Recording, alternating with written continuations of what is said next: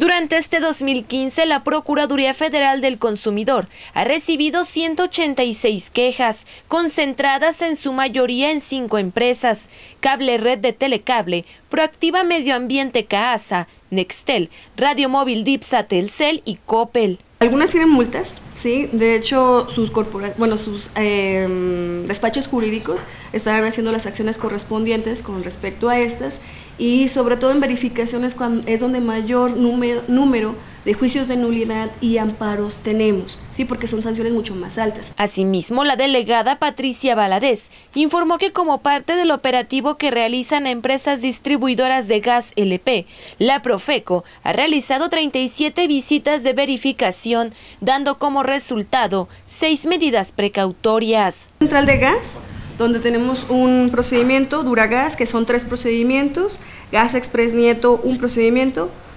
Gas, un procedimiento, son seis procedimientos que tenemos en este momento. Y eh, lo que estamos revisando son información comercial, que se ha respetado el precio oficial que está publicado en el Diario de la Federación, el Diario Oficial de la Federación con respecto a lo que vale el gas LP, ya que es uno de los tres productos que tiene un eh, precio fijo, al igual que la gasolina y la electricidad.